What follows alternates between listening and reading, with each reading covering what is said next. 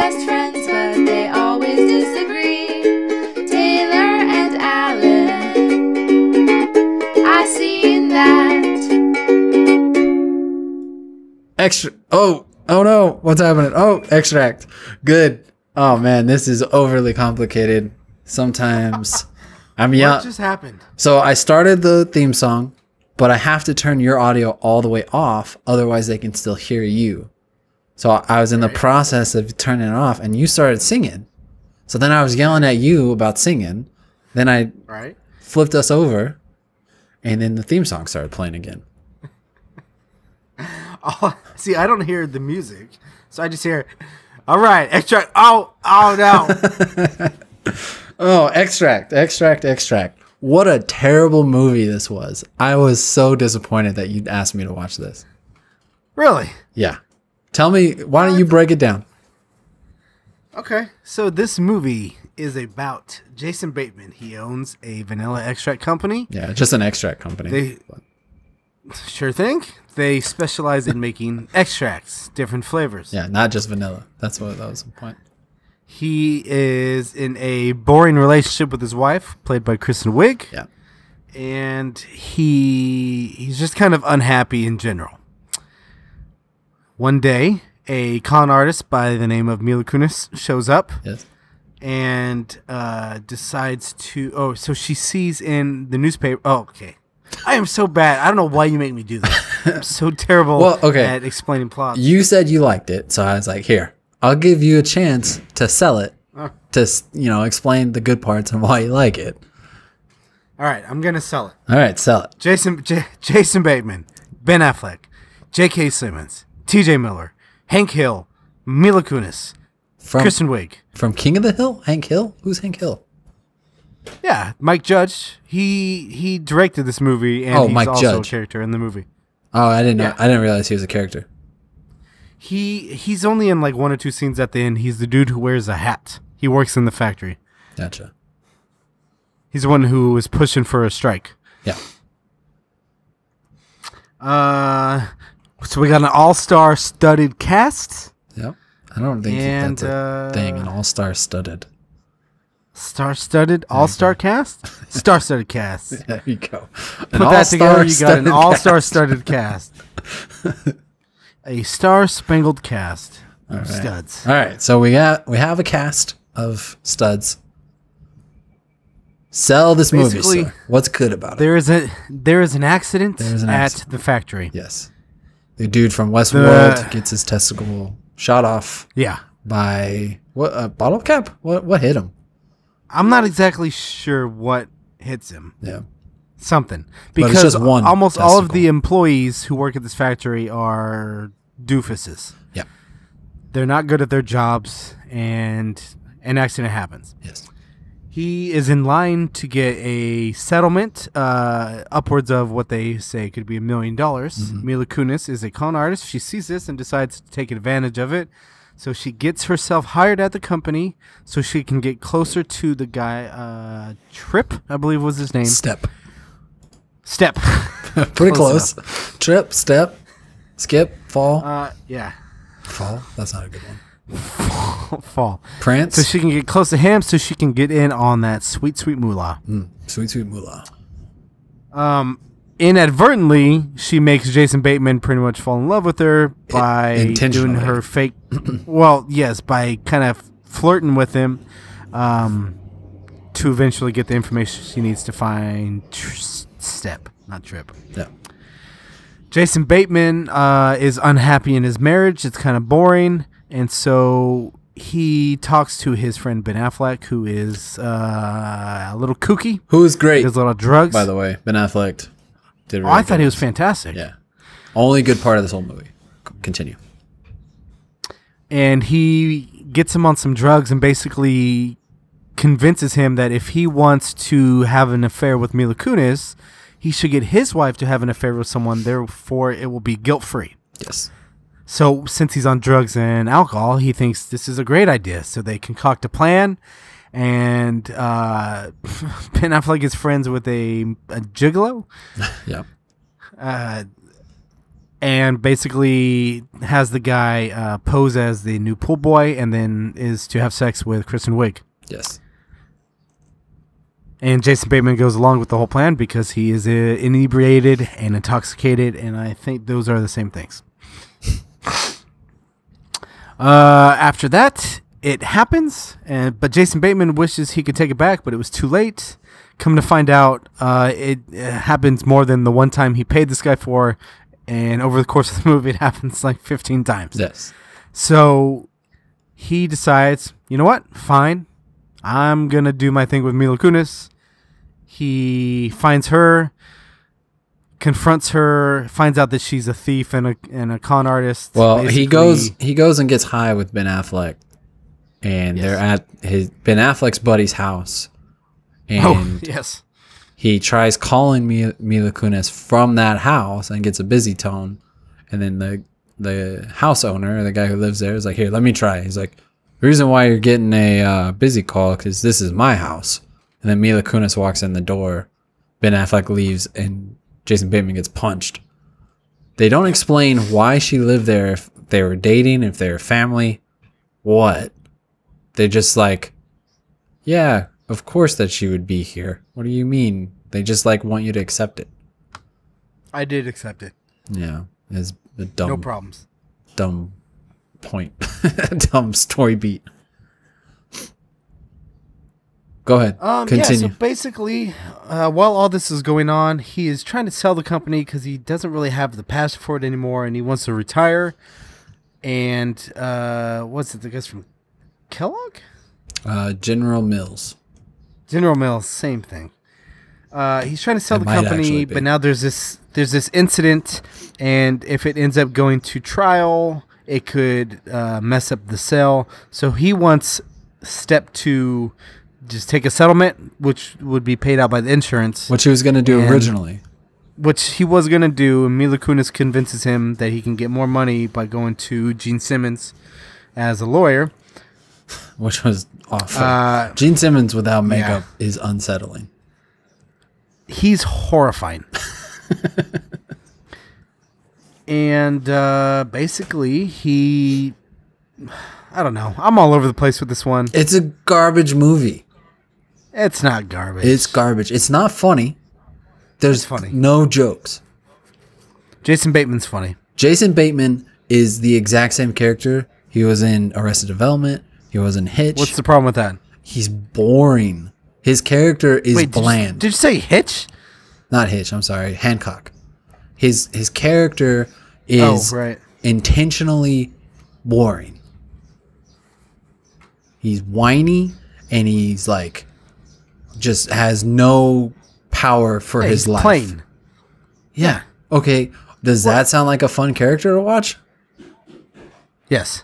So you're like, oh, Jason Bateman's good. He does exactly the same thing he does in everything, where he's boring. I think he's good in all those things that you named. He's exactly the same in all those things. What's the problem with that? He's boring. It works in Arrested Development because you have all the other characters to go against. He's playing the straight man to a crazy family. Okay. So he's not he's not the funny part in Arrested Development. He's what you bounce the funny off of. And they they tried to do that in this and it, it really did not work. The all the jokes were just exhausting. Like the the woman at the conveyor belt who kept just not doing her work and problems would happen. Did you think she was funny? No, she was very irritating. Yeah. But that was the point. No, I know, but that's what I'm saying. You got a boring character, you have an irritating character. There, it's not it's it's not as bad as the week of, but it's the same issue. They're they're making things that are irritating for you to watch and feel irritated by. David Koechner was the worst. Hold on. What is the week of? Remind me. Adam Sandler, Chris Rock, their kids are Oh, getting gosh, married. That was awful. yeah. Uh, you know, remember how it was like everything, all the jokes were like, hey, you have this person in your life. You remember how much you hate them? That's what this movie felt like. It's like you you know at work how you have people who slack off and just complain all the time. They suck, right? Well, here you go. Watch them for two hours, and it's it's crazy. And Because it's relatable, though. That's but what it's, makes it. it's not fun. It's not funny. They're they're not they're not telling jokes. They're all the joke is here's an annoying person, right? Okay, Yeah. I guess. I don't see the problem with that. It's not fun. That's the problem. There's no they're not they're not being clever. Those people aren't getting their comeuppance. There's no like oh yeah, that they that person that I hate in my actual life that this character reminds me of, they're not doing anything bad to that character to make you feel like, oh, that would be funny if it happened to the person I know. Do you know what I'm saying? They're not using that annoyance. They're just pinpricking you with annoyance so you relate to it. Yeah. But that's not even So- that's that's the minor issue that I have with this stupid movie. There's oh, no boy. there's no point. There's no moral to the story. Jason Bateman No, there's not. Jason Bateman I agree with that. gets the gigolo to sleep with his wife 15 times on accident, whatever. Uh she does it automatically with no resistance. Like I when when you find out that it went it, it happened that he actually the gigolo went through with it, I was like, "Oh, he's he went to the wrong house." Cuz they established the gigolo's stupid, he doesn't know what he's doing. I assumed, "Oh, he went to David Koechner's house and slept with David Koechner's wife." And that's going to be the the big, you know, comeuppance where Jason Bateman's going to be going after Mila Kunis. She's going to reject him because she's not really interested. He's going to think that his wife is sleeping with the gigolo, but she's not actually. So he's trying to cheat on his wife who's not doing anything wrong. Nope. Turns out she's just a dirtbag and is willing to sleep with the pool boy as soon as he gives her attention. There's no there there's not the movie doesn't say anything about it. It doesn't make any judgment on any of the characters' actions. They're like, you know, people do bad things. Oh well, like okay, just here you go. Sometimes people will do bad things. We're not gonna we're not gonna judge. We're not gonna say anything about it. Just here here it is. Okay, that's that's fine that you, You don't want to you're not going to Mike Judge? it's fine if you don't want to be judgmental, but you can't make a movie, you can't tell a story and it be entertaining if you're just gonna lay the facts out about what happened. If you're not gonna give a point to why you're telling the story. It, otherwise, you might as well watch the news. Like, the news is not fun because there's no. Well, the, the news sucks because a lot of sucky stuff happens. But do you know what I'm saying? Like, there's no. There's. You're not. I know what you think you're saying. All right. So why am I wrong? Because it's funny. It's not funny. What's funny about it? Where's the jokes? Uh, I liked Adam's. er, Not Adam Sandler. I liked Ben Affleck. Ben Affleck was funny. Uh, I I'll give you that. I liked. But I liked he was- J.K. Simmons' character. J.K. Simmons was fine. He didn't do anything. He is just like No, he doesn't. But he's funny. he he did have the one line where he kept calling everyone uh, dirtbag, Dinkus. dinkus. Uh, that that was a funny moment. I'll give you that too. Uh, ben Affleck was funny, but that was because he was so different than any of the characters he's ever played. Yeah. and that that was the joke. Hey, look at Ben Affleck being a stoner. Is a lot. It was pretty similar to when uh, um, Tom Cruise in Tropic Thunder. Tom Cruise in Tropic Thunder, but I was gonna say James Franco in uh, Pineapple Express was like the the the mo the biggest joke. Like James Franco did a much better job in Pineapple Express, but the joke was like, oh, here's this guy who's normally you know really clean cut, being this dirtbag. Ben Affleck being clean cut, being this dirtbag. Tom Cruise being clean cut, being this dirtbag. Like that's the joke. The, his his Okay, writing was right. not that good for Ben Affleck. Uh, I thought T.J. Miller was funny. I hated TJ Miller in this. He was so Uh, you annoying. would. I don't really like TJ Miller as it is. Like he's Yeah, I know. he's funny sometimes. I liked him in Cloverfield. Like that was the perfect amount of TJ oh, Miller. his his funniest role to date. it, it was the perfect amount of TJ Miller in a role that I can think of. Was it Cloverfield, where he's behind the camera making jokes, you know, like side comments about everything happening. Hmm. That's a weird choice. What would you say? About his best role? Yeah, like your favorite role of his. Uh, I haven't watched. I haven't watched Silicon Valley. Uh, That would probably be it. Yeah. I would say. that's that's what I hear. I know Thomas Middleditch is super funny, and the show is supposed to be really. Oh, good. he's great. Yeah. Uh, but I, I just haven't seen it yet. That's it's a great show. Um, I don't know. Now I'm blanking on T.J. Miller movies. No. But so I, I yeah, I don't know. this movie it ends, right? Mila Kunis.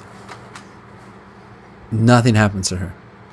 She Nope. She she moves on. she gets caught, but gives back the purse, and just takes Yeah. off, steals Gene Simmons' car, and she's just off in the wind. There's no like there's I don't even know there, like I, I don't need her to be like destroyed or you know taken down or whatever. It's just weird to have this you know person who came in and was stealing and like cheating and doing all this bad stuff and nothing happened to him. Like nothing changed. Same with uh jason bateman. He he got his wife to sleep with his gigolo and at the end of the movie they're like let's we could just be back together right? And they're like yeah okay let's do that. Like there's no Yeah. there was no development. It just happened and they're like uh, we, No, don't don't get me wrong. There's not a lot of character development, but it's it's I don't know. It's just one of those movies that I don't need it to make a whole lot of sense. I just I just like it. So deal with it. I just I just don't know why you even like it for that. Like I I, know there's a ton of movies that I don't like, but I can at least see like oh okay I get why people like this. I just don't feel like Spider-Man 2. I just don't know. I don't feel like there was anything that happened in this movie to even like. It it felt like a huge waste of time. Uh, wrong. And that's all I can say about it. There's no counterpoint. All right. Well, you got to have to say something here about this movie because I've run out of things to say. Oh, there's nothing else to say. What, where would this movie fall on your rating system? Uh, negative three. Negative three. Yeah. It's it's it's right behind the Left Behind movie. Yeah. Yikes! I give this movie a positive three. Nah, maybe a two, maybe a three. I don't know. Why? I don't know. I guess it's Because you had fun watching make it. Do you yeah. Do you want to hire a gigolo for your wife? Is that what it is? You're trying to come up with a plan. I am the gigolo. Oh, gross.